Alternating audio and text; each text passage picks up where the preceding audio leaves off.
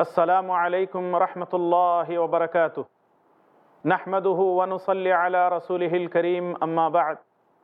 أعوذ بالله السميع العليم من الشيطان الرجيم من همزه ونفخه ونفثه.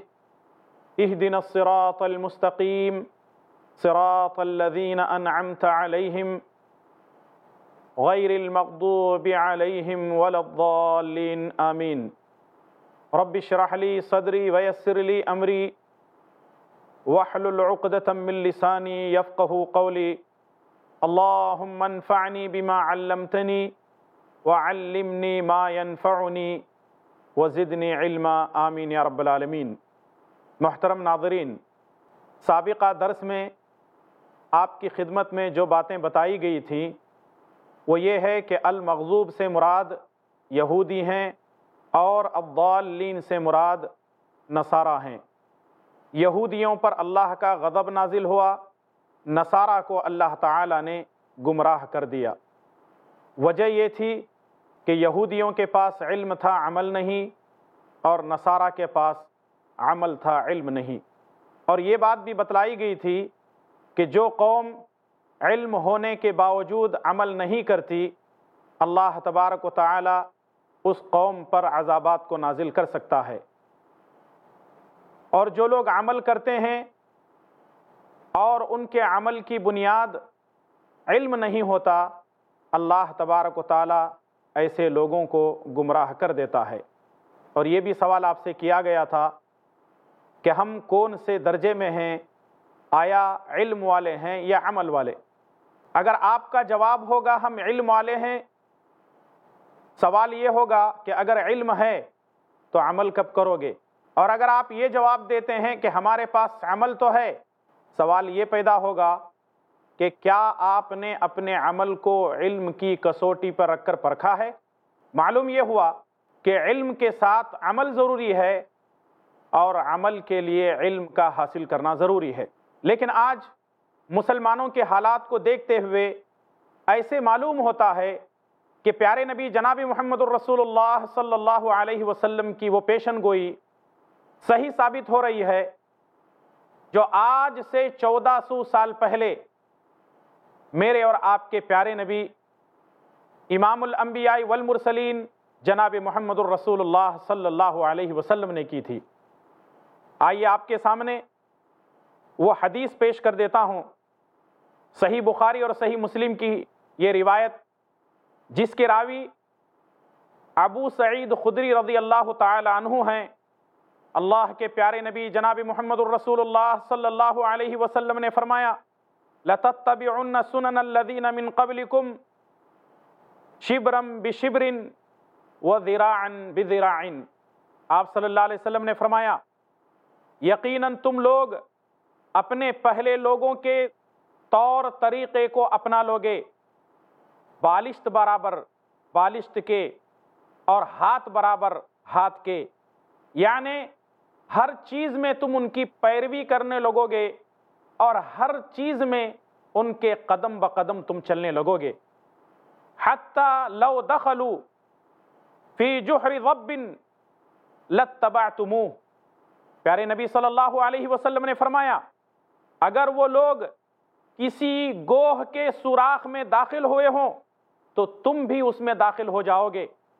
قلنا یا رسول اللہ، صحابہ اکرام فرماتے ہیں، ہم نے اللہ کے نبی صلی اللہ علیہ وسلم سے سوال کیا، الیہود والنصارہ اللہ کے نبی صلی اللہ علیہ وسلم، آپ کی مراد یہود اور نصارہ تو نہیں ہے۔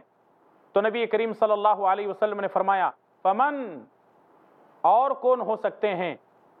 چودہ سو سال پہلے کی ہوئی پیشن گوئی آج سچی ثابت ہو رہی ہے۔ آج آپ دیکھ لیں، مسلمان یہود و نصارہ کے نقش قدم پر چل رہے ہیں۔ یہودیوں کے پاس علم ہونے کے باوجود عمل نہیں تھا۔ اور آج مسلمانوں کا ایک بہت بڑا طبقہ، جن کے پاس قرآن کا علم ہے، جن کے پاس احادیث کا علم ہے، جن کے پاس فقہ کا علم ہے، جن کے پاس معاملات کا، تجارت کا سب کچھ علم ہے۔ لیکن عجیب مسئلہ یہ ہے کہ آج وہ عمل سے بالکل خالی خالی نظر آتے ہیں۔ رسول اللہ صلی اللہ علیہ وسلم کی وہ پیشن گوئی کہ تم ان کے قدم بقدم چلو گے اور آج مسلمانوں کا یہی حال ہو رہا ہے۔ رہا مسئلہ نصارہ کا، جن کو اللہ تبارک و تعالیٰ نے گمراہ کیا۔ وجہ یہ تھی کہ ان کے پاس عمل تھا لیکن علم نہیں تھا اور آج مسلمانوں کا ایک بہت بڑا طبقہ عمل تو کر رہا ہے۔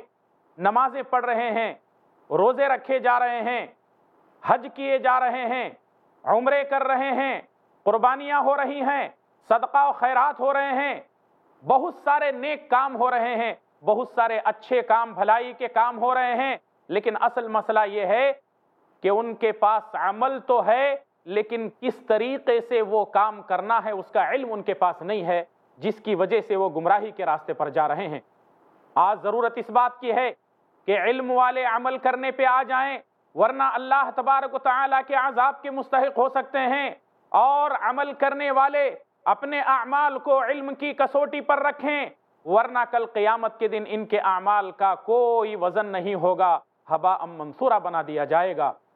ناظرین کرام، اللہ تبارک و تعالی اور پیارے نبی جناب محمد الرسول اللہ صلی اللہ علیہ وسلم ہر طرح سے ہماری رہنمائی کر رہے ہیں۔ تاکہ ہم ایسی قوموں کے نقش قدم پر نہ چلیں کہ جنہوں نے اللہ تعالیٰ کی نافرمانیاں کرتے ہوئے اللہ تعالیٰ کے عذاب کو دعوت دی اور آج بھی ہم دیکھ رہے ہیں دنیا میں مسلمانوں کے ساتھ یہ معاملہ ہو رہا ہے۔ کہیں مسلمان ظلم و ستم کا شکار ہیں۔ کہیں مسلمان بچوں کو، عورتوں کو، نوجوانوں کو ہلاک کیا جا رہا ہے۔ ساری دنیا میں ذلیل و خار ہیں۔ ساری دنیا میں سب سے زیادہ ظلم اگر کسی قوم پر ٹوٹ رہا ہے، تو وہ مسلم قوم ہے۔ آخر اس کی وجہ کیا ہے؟ کہ کچھ لوگ علم کے باوجود عمل نہیں کر رہے ہیں اور کچھ لوگ عمل تو کر رہے ہیں، لیکن اس کو علم کے ذریعے سے، اس کو سیکھنے، سمجھنے اور اپنی زندگی، پیارے نبی جناب محمد الرسول اللہ صلی اللہ علیہ وسلم کے طریقے کے مطابق گزارنے کے لیے تیار نہیں ہیں۔ آئیے ایک اور حدیث آپ کی خدمت میں میں پیش کر دیتا ہوں۔ علامہ البانی رحمۃ اللہ علیہ نے السلسلۃ الصحیحہ کے اندر حضرت ابو ذر غفاری رضی اللہ تعالیٰ عنہ سے روایت نقل کرتے ہیں۔ اللہ کے پیارے نبی جناب محمد الرسول اللہ صلی اللہ علیہ وسلم نے فرمایا، انکم فی زمان علماؤہ کثیر وخطباؤہ قلیل.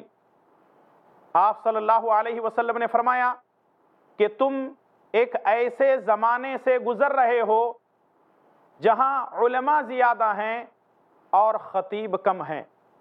علماء زیادہ ہیں، خطیب کم ہیں۔ رسول اللہ صلی اللہ علیہ وسلم کے زمانے میں جو صحابہ اکرام تھے، وہ علماء تھے۔ کیوں؟ کہ پیارے نبی جناب محمد الرسول اللہ صلی اللہ علیہ وسلم کے درس میں بیٹھ کر سیکھتے تھے۔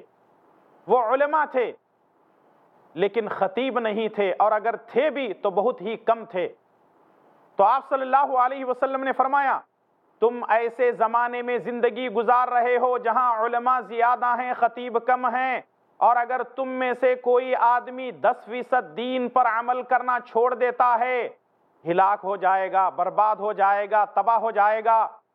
اور پھر اس کے بعد نبی کریم صلی اللہ علیہ وسلم نے فرمایا، وَسَيَأْتِي عَلَى النَّاسِ زَمَانٌ يَقِلُّ عُلَمَاؤُهُ وَيَكْثُرُ خُطَبَاؤُهُ۔ پھر میری امت پر انقریب ایک وقت ایسا آئے گا جہاں خطیب زیادہ ہوں گے اور علماء کم ہوں گے۔ جہاں خطیب زیادہ ہوں گے اور علماء کم ہوں گے۔ غالباً حالات حاضرہ پر نظر دوڑاتے ہوئے ایسے معلوم ہوتا ہے کہ ہم اسی دور سے گزر رہے ہیں۔ آج کا دور خطیب زیادہ ہیں، علماء کم ہیں۔ جس کو قرآن صحیح پڑھنا نہیں آتا، جس کو قرآن کریم کا فہم نہیں ہے، جس کو احادیث کے بارے میں معلوم نہیں ہے۔ حدیث کس کو کہتے ہیں؟ پیارے نبی جناب محمد الرسول اللہ صلی اللہ علیہ وسلم کے ارشادات مبارکہ کیا ہیں؟ معلوم نہیں ہے۔ لیکن وہ ممبر و محراب کے مالک بنے ہوئے ہیں۔ لمبی لمبی تقریریں کرتے ہیں۔ ایک ایک نہیں، دو دو نہیں، چار چار گھنٹے تقریریں کرتے ہیں۔ وہ صرف خطیب ہیں، لیکن ان کے پورے خطبات میں، ان کی پوری تقریروں میں نہ قرآن کریم کی آیت ہوتی ہے، نہ پیارے نبی جناب محمد الرسول اللہ صلی اللہ علیہ وسلم کے کسی قول سے وہ اپنی تقریر کو شروع کرتے ہیں، نہ ختم کرتے ہیں۔ بلکہ ادھر ادھر کے قصے اور کہانیاں، وہاں یہاں کے واقعات، انہوں نے ایسا کیا، انہوں نے ایسا کیا ان کے ساتھ وہ ہوا، ان کے ساتھ یہ ہوا۔ ادھر ادھر کی کہانیاں پیش کر کے لوگوں کو بے وقوف بناتے ہیں اور اپنے جیم گرم کر رہے ہیں۔ یاد رکھیے، ایک ایسا دور ہے جہاں خطیب زیادہ ہیں۔ اور آج آپ دیکھ لیں، ایک ان پڑھ آدمی، ایک جاہل آدمی کھڑا ہوتا ہے اور کھڑے ہو کر کے قرآن کی آیت اور حدیث کے بغیر لمبی لمبی تقریریں کرتا ہے۔ کیا ہم ایسے دور سے نہیں گزر رہے ہیں؟ بے شک یہ ایسا دور ہے جس کو کچھ معلوم نہیں ہے، وہ ممبر و محراب کے مالک بنے ہوئے ہیں۔ اللہ کے پیارے نبی جناب محمد الرسول اللہ صلی اللہ علیہ وسلم نے آج سے چودہ سو سال پہلے یہ پیشن گوئی کی تھی کہ میری امت میں ان قریب کچھ لوگ ایسے پیدا ہوں گے جہاں خطیب زیادہ ہوں گے اور علماء کم ہوں گے۔ نبی کریم صلی اللہ علیہ وسلم نے آگے فرمایا، من تمسک فیہی بی عشیر ما یعلم نجا، اور اگر کوئی ایسے حالات میں دس فیصد دین پر بھی عمل کر لیتا ہے، تو امید ہے کہ وہ کامیاب ہو جائے گا۔ دس فیصد دین پر عمل کرنا۔ یہاں اس بات کی وضاحت بھی ضروری ہے۔ کوئی اس حدیث کا مطلب یہ نہ نکالیں کہ چلو ہمیں حدیث مل گئی ہے، دس فیصد دین پر عمل کرنا ہے، وہی ہماری نجات کے لیے کافی ہے۔ لیکن ایک بات یاد رکھیے اگر آپ کسی دکان میں کاروبار کرتے ہیں، روزانہ آپ کے کاروبار میں دس ہزار روپے منافع ہوتا ہے، تو آپ کوشش یہ کرتے ہیں کہ اگلے ماہ پندرہ ہو، اور کوششیں کرتے ہیں کہ اس کے بعد والے مہینے میں بیس ہو۔ یعنی آپ زیادہ سے زیادہ منافع کمانے کی حرص اور لالچ رکھتے ہیں دنیا کے بارے میں۔ دین کے بارے میں بھی یہ لالچ ہونی چاہیے کہ دین پر زیادہ سے زیادہ ہم عمل کر سکیں۔ تو معلوم کیا ہوا؟ آج کے ایک ایسے دور سے ہم گزر رہے ہیں جہاں خطیب زیادہ ہیں اور علماء کم ہیں اور آج کل کے حالات سے ایسے معلوم ہوتا ہے کہ خطیب اپنے تقاریر کے ذریعے سے لوگوں کو گمراہ کر رہے ہیں۔ اپنے تقاریر کے ذریعے سے، اپنے خطابات کے ذریعے سے لوگوں کو گمراہ کر رہے ہیں، جبکہ ان کے پاس علم نہیں ہے۔ ضرورت اس بات کی ہے کہ علم حاصل کیا جائے۔ اس سے پہلے کے درس میں ایک مثال میں نے آپ کے سامنے پیش کی تھی، ضرورت محسوس ہو رہی ہے، اس لیے میں اس مثال کو دوبارہ آپ کی خدمت میں پیش کر دیتا ہوں۔ وہ مثال یہ ہے کہ ایک آدمی کو کتاب ملتی ہے، کتاب کے اوپر والے حصے پر لکھا ہوا تھا، آؤ تیراکی سیکھیں۔ سوئمنگ، تیراکی سیکھنے کے بارے میں وہ کتاب تھی، ایک شخص وہ کتاب لیتا ہے۔ کتاب لینے کے بعد اس کی ورق گردانی کرتا ہے۔ اور آنکھ کو پلٹاتا ہے تو اس میں لکھا ہوا تھا، اگر آپ تیراکی کرنا چاہتے ہیں، تیرنا سیکھنا چاہتے ہیں، تو آپ کے لیے ضروری ہے کہ پانی ہو۔ پانی کے اندر چلے جائیں اور پھر اس کے بعد جب آپ پانی کے اندر پہنچیں گے، تو وہاں جانے کے بعد اپنے داہنے ہاتھ کو پیچھے کی طرف کھینچیں اور اپنے بائیں ہاتھ کو پیچھے کی طرف کھینچیں۔ پیر کو پیچھے سے مارتے رہیں، آپ آگے جاتے رہیں گے، اس طریقے سے آپ تیراک بن جائیں گے۔ ایک آدمی نے صرف کتاب دیکھ لی اور پھر اس کے اندر تصویروں کو اس نے دیکھ لیا اور دیکھنے کے بعد اپنے ساتھ دس آدمیوں کو تیراکی سکھانے کے لیے لے جاتا ہے۔ بھلا بتلائیے، جس کو خود تیرنا نہیں آتا، وہ دس آدمیوں کو تیراکی سکھانے کے لیے لے جا رہا ہے۔ ظاہر ہے کہ خود بھی ڈب کر مرے گا اور دس آدمیوں کو بھی مروائے گا۔ آج یہی حال ہمارا ہو رہا ہے۔ امت کے اندر ایسے لوگ جن کو تعلیم سے کوئی واسطہ نہیں ہے لیکن وہ خطیب بنے ہوئے ہیں۔ ادھر ادھر کی باتیں ہانکتے ہیں اور چلے جاتے ہیں۔ آج ضرورت اس بات کی ہے کہ سب سے پہلے علم حاصل کیا جائے اور اس علم کی بنیاد پر لوگوں کو اللہ اور اس کے رسول کی طرف تعلیم دی جائے۔ سنن ترمیزی کی روایت، صحیح الجامع کے اندر بھی روایت موجود ہے۔ شیخ البانی رحمہ اللہ نے اس روایت کو حسن درجے کی کہا ہے۔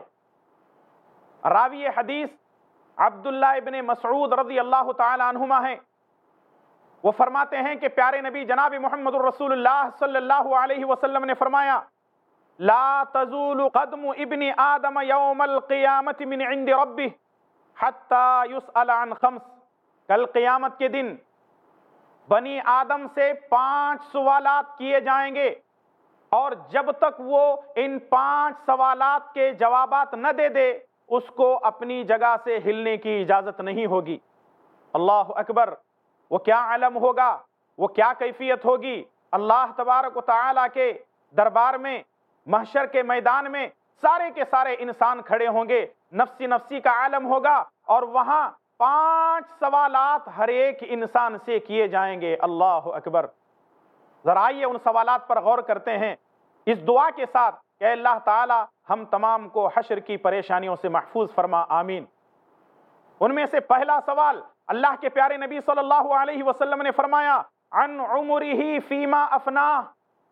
میں نے تجھے عمر دی تھی، میں نے تجھے زندگی دی تھی، آخر تو نے زندگی کا کیا کیا؟ تو نے اپنی زندگی کے اندر کیا کیا؟ پہلے حساب دے، پھر اس کے بعد تجھے آگے جانے کی اجازت ہوگی۔ زندگی بہت بڑی نعمت ہے۔ انسان اس دنیا میں آتا ہے، کسی کو چند گھنٹے، کسی کو چند لمحے نصیب ہوتے ہیں۔ کوئی پچاس، ساٹھ سال، ستر سال، کسی کو سو سال کی زندگی نصیب ہوتی ہے۔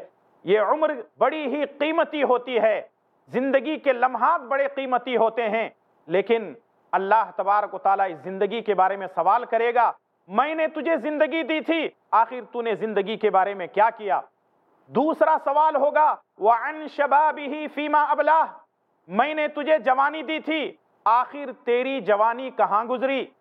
تیری جوانی اللہ تعالیٰ کی اطاعت اور فرمابرداری میں گزری، یا تیری جوانی اللہ تعالیٰ کی نافرمانی میں گزری؟ پہلے جواب دے، پھر اس کے بعد آگے جا۔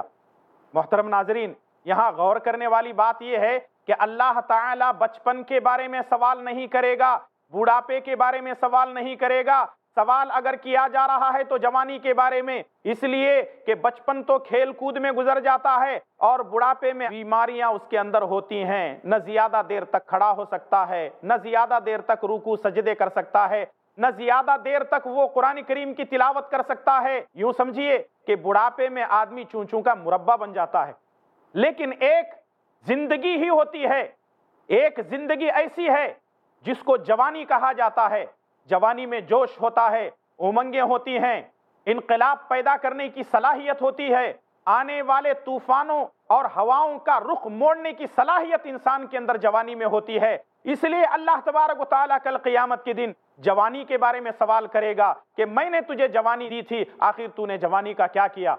آج ہماری نوجوان نسل کیا کر رہی ہے؟ ہمارے نوجوان برباد ہو رہے ہیں، انٹرنیٹ کے ذریعے سے برباد ہو رہے ہیں اور موبائلوں کے ذریعے سے برباد ہو رہے ہیں۔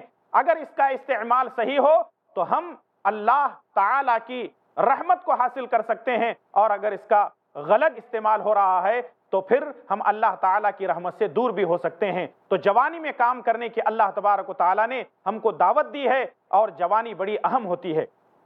تیسرا اور چوتھا سوال یہ ہے وہ مال ہی من تصب وفیما انفقا مال کے بارے میں سوال کیا جائے گا۔ کہ مال تو نے کمایا کہاں سے اور خرچ کہاں پر کیا؟ پانچواں اور آخری سوال ہوگا، جو ہمارے اس درس سے بڑا اہم تعلق رکھتا ہے، پانچواں سوال ہوگا، وَمَاذَا عَمِلَ فِي مَا عَلِمْ؟ میں نے تجھے علم دیا تھا، اس علم پر تو نے کتنا عمل کیا؟ ضرورت اس بات کی ہے کہ جو علم اللہ تبارک و تعالی نے ہم کو دیا ہے، اس پر عمل کریں۔ آج کل اکثر و بیشتر نوجوانوں کو یہ دیکھا جاتا ہے ایک تو جمعہ میں ایک مرتبہ وہ مسجد کو آتے ہیں اور جمعہ میں بڑی تاخیر سے ایک رکعت ہو چکی ہوتی ہے، دوسری رکعت ختم ہونے والی ہوتی ہے، وہ مسجد میں پہنچتے ہیں۔ میں نے ایک صاحب کو دیکھا کہ وہ ہمیشہ تاخیر سے آتے ہیں۔ میں نے پوچھا، جناب، وقت سے پہلے مسجد میں آ جائیں تاکہ آپ خطبے کو سن سکیں، اللہ رسول کی باتیں سماعت کر سکیں، تاکہ اللہ رسول کی تعلیمات پر عمل کرنے میں آسانی ہو۔ تو انہوں نے جواب دیا، مولانا اگر ہم جلدی آئیں گے تو سننا پڑے گا، اور اگر سنیں گے تو عمل کرنا پڑے گا۔ تو اس کا مطلب یہ ہے کہ جناب اخیر میں اس لیے آ رہے تھے، کہیں اگر سنیں گے تو عمل کرنا نہ پڑے۔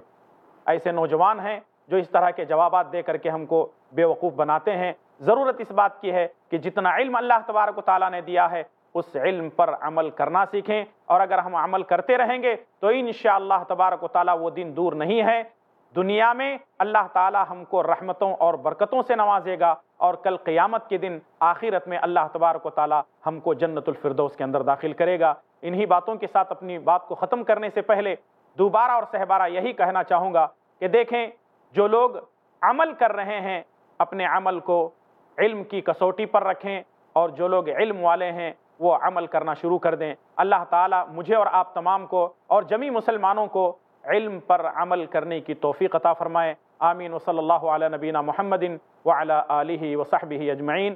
والسلام علیکم ورحمۃ اللہ وبرکاتہ۔